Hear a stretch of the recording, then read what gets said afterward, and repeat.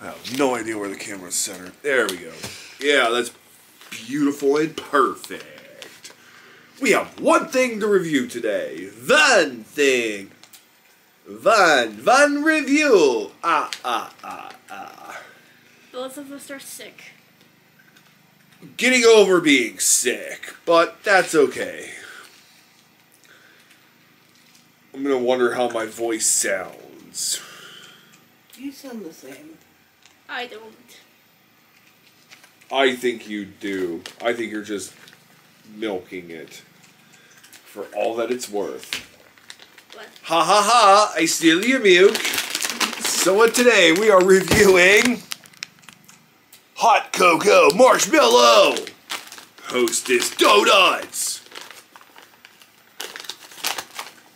They make okay donuts. Yeah.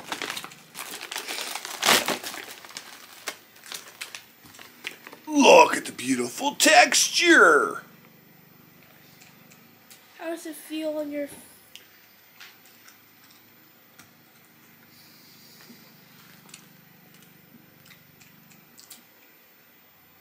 They're very soft. Yeah. They're very, very soft and moist. moist! Festering pustules. Moisty, festering pustules.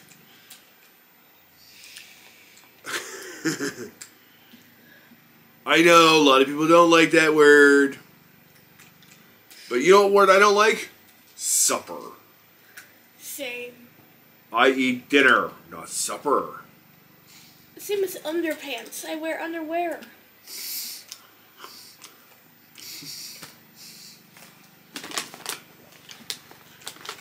These are actually good.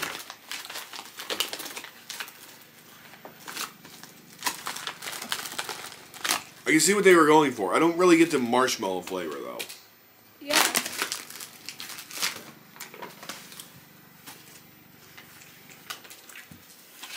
But I really, really like the really soft texture of that sponge, or that donut. The cocoa flavor does it feel like I'm drinking a glass of hot cocoa? Actually, yes, it does.